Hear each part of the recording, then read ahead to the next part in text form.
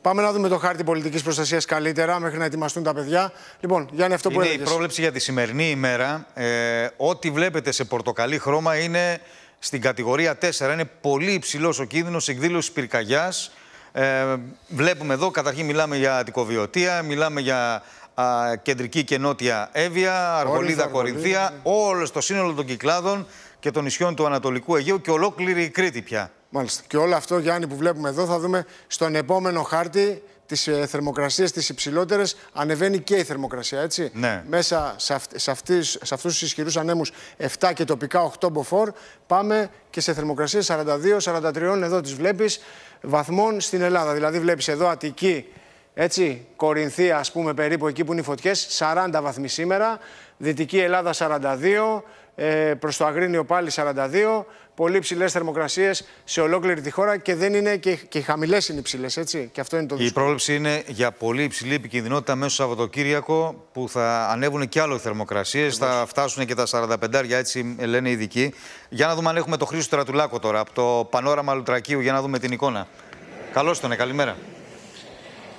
Καλή σας μέρα, καλημέρα από το πανόραμα Λουτρακίου. Θα δείτε ευθύς αμέσως λοιπόν είναι η ώρα που περιμένανε και οι άντρε πυροσβεστική στις αναζωπηρώσει. Δείτε λοιπόν ε, στο βάθος υπάρχει καπνός και επιχειρεί τώρα και το ελικόπτερο το Ericsson.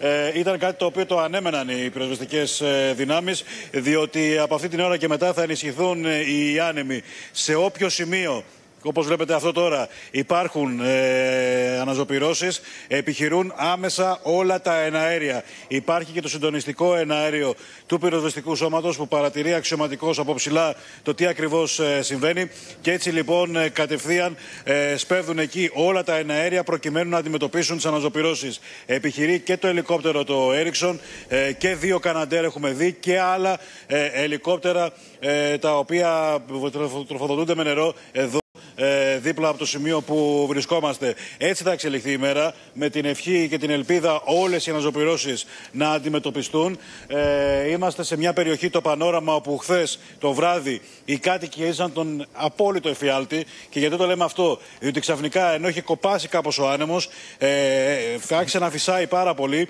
με αποτέλεσμα να υπάρχει αναζωπήρωση από το σημείο που σας δείχνουμε η φωτιά κατέβηκε ε, προς τα σπίτια του χωριού υπάρχουν δυστυχώς ε, σπίτια τα οποία ε, καταστράφηκαν, κάποιες αποθήκες, κάποια σπίτια τα οποία υπέστησαν ζημιές. Είχαμε αυτοθυσία και από τους εθελοντές που ήταν εδώ και τους πυροσβέστες που κατάφεραν σε πολλές των περιπτώσεων να σβήσουν τη φωτιά.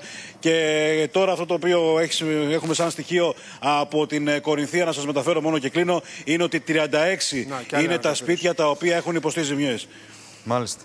Ακριβώς. Ε, με 120 πυροσβέστες, 4 πεζοπόρα τμήματα. Τώρα μιλάμε για την περιοχή του Λουτρακίου, έτσι. 43 οχήματα, 4 αεροσκάφη, 2 ακριβώς.